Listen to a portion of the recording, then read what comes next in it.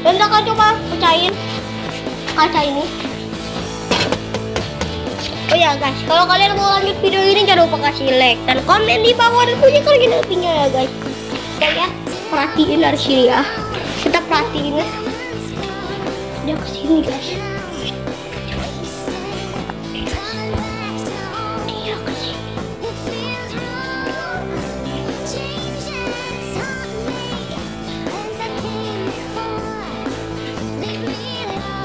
Itu musuh kita ya. Kita akan melihat dari sini ya. Semoga ini berhasil. Wih, oh pecah. Lihat.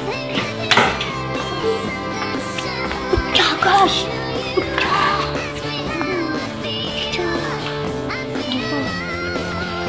Oke, sudah guys ya. Oh sudah deh guys. Tuh sudah